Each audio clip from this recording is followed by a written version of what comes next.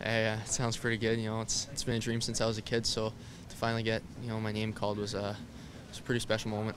Well, I came last night and you know didn't didn't expect much obviously, and um, you know today was was a bit more of a mystery. wasn't too sure where when I was gonna go, and and uh, you know getting my name called as I said was was pretty uh, pretty surreal.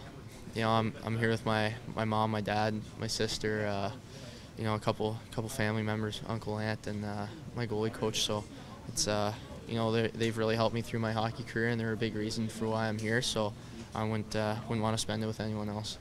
Um, yeah, obviously, you know, starting with my coaching staff, uh, they've done so much for me and and uh, given me the opportunity to play uh, that much in my second year. And um, you know, the fans are, are amazing in Niagara. You know, the atmosphere in the rink is is awesome, and I've made a lot of great friends back home or back in Niagara. I mean, and and uh, I owe a lot to them too. So and you know, I can't forget my billets for sure.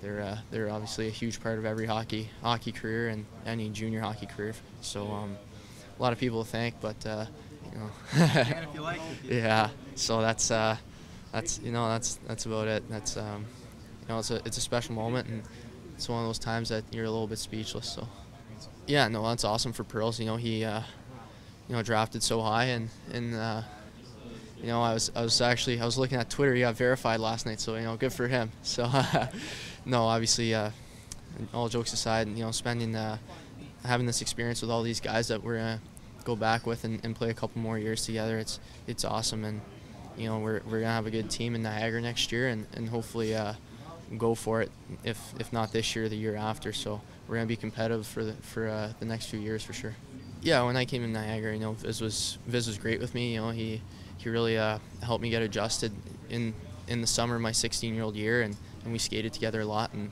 we still text and um, like you know he's obviously a great guy and and uh, just kind of bringing me through the different steps of the draft and you know the combine uh, really helped me a, a, lot along the way so um, I owe a lot to him and you know he's obviously doing great down in Phoenix. No for sure uh, Rich is Rich is a funny guy and um, someone actually I didn't think of it until someone mentioned it a couple minutes ago. But uh, no, I guess I'll be seeing Rich at the hopefully development camp. Or, um, but no, he's he's a great guy and uh, one of the hardest shots I've ever faced for sure.